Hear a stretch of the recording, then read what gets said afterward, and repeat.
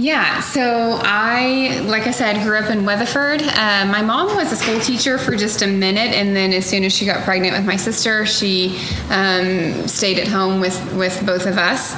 And my mom, my dad was in life insurance whenever I was just um, really young. Started his own life insurance company out in Weatherford, um, and then did that for I don't know, 12 ish years and decided to just completely um, do a 180. And he opened Alfredo's Mexican Cafe in Weatherford whenever I was in eighth grade um, and still maintained his, his um, insurance company as well. And um, But yeah, opened Alfredo's in Weatherford and then went on to open three more.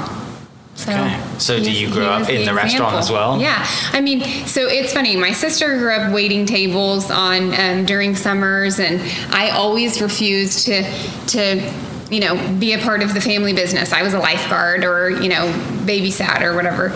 And then I graduated high. I graduated college and was the one that jumped in and um, went full time in the restaurants with my dad and Kelly and did the catering for 14 years. Yeah. For Alfredo's. So. Wow, that's yeah. awesome. I did not expect you to say that. And then my yeah. sister went on to be a therapist, so she had nothing to do with him after that, and I was the one that refused. Yeah, like I'll never. But now you're all. You're it was great. Yeah. yeah. Kelly, what about you? Uh, my dad was a Church of Christ preacher um, at a church in Edmond. Uh, went to Oklahoma Christian and then thought I was going to go to law school. Okay. Uh, did the LSAT, did all that. Thought we were going to move to Alabama mm-hmm. when we first got married, um, and then got talked into coming on in the restaurant business in Alfredo's more back in 2006 mm-hmm. um, and fell in love with it. I, I, we loved it. Uh, we did that for about 11 years, uh, 10, 11 years until we branched out. We opened up three other Alfredos and then we kind of got to the age where like, if we want to grow our business, it's time. Sure. And so then we got in with the Fuzzies group and opened up um, three of those. Mm-hmm. Um, and then that also went into Cycle Bar that same year with Fuzzies, wasn't it? 2017. Yeah. So we bought. Um, we ended up buying Cycle Bar in 2015, uh-huh. um, and then it took two years to open Cycle Bar Classen Curve over here. We opened in 2017,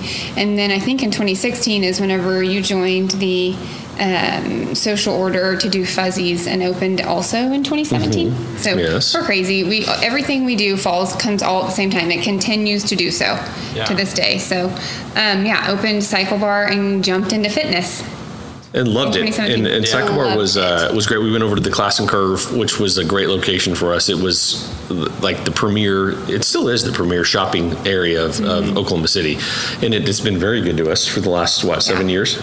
Yeah, I mean, I bought in 2015 and said like, look, I'm doing this only if I can open in Classen Curve. That was the yeah. only location I wanted. I knew as soon as we bought it, we're exactly where I wanted to go. I didn't look anywhere else. I went straight to them um, and secured a spot pretty quickly. Yeah. Still took two years to open just because construction and all of that, but loved fitness, loved it. Um, it was completely different from restaurants. We still are in restaurants, love them. It's a grind. Um, mm-hmm. Fitness is too, though, but um, it's a different grind, and people are so happy to come in, and you know they're choosing to be there, and um, we loved it so much we chose to expand in fitness as well, and did exactly that.